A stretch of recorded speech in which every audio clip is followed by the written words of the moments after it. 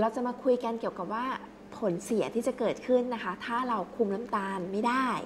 นะคะคุณยายพอจะทราบไหมถ้าคุมน้ำตาลไม่ได้ จะเกิดอะไรขึ้น ไม่รู้ค่ะ ไม่รู้เนาะก็คือ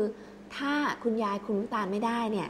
คุณยายอาจจะมีผลทำให้คุณยายเป็นต้อกระจกค่ะนะคะ แล้วอาจจะทำให้ตาบอดค่ะได้ด้วยนะคะ แล้วก็ปลายมือปลายเท้าเนี่ยจะชา แล้วก็เวลามันชาแล้วเนี่ย เวลาจับอะไรหรือว่าโดนอะไรเนี่ยมันจะไม่รู้สึก ก็จะทำให้คุณยายเนี่ยเกิดแผลได้ง่ายนะคะทั้งปลายมือแล้วก็ปลายเท้า แล้วถ้าเป็นที่เท้าเนี่ยนะคะมันอาจจะเกิดการอักเสบ แล้วก็อาจจะเกิดการติดเชื้อ แล้วสุดท้ายจะต้องตัดขา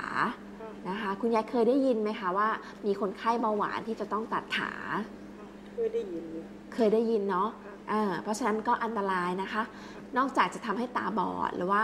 ปลายประสาทเนี่ย ค่อยรู้สึกอะไร เบาหวานเนี่ยถ้าเราคุมน้ำตาลไม่ได้เนี่ยมันจะทำให้เป็นโรคไตวายนะคะแล้วเป็นโรคหัวใจนะคะอาจจะทำให้เกิดหัวใจล้มเหลว หัวใจขาดเลือด เป็นโรคหลอดเลือดสมองอุดตันได้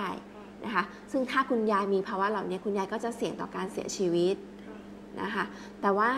คุณยายยังไม่ต้องกังวลนะคะถ้าเราคุมได้ เราจะใช้ชีวิตได้เหมือนคนปกติเลยนะคะ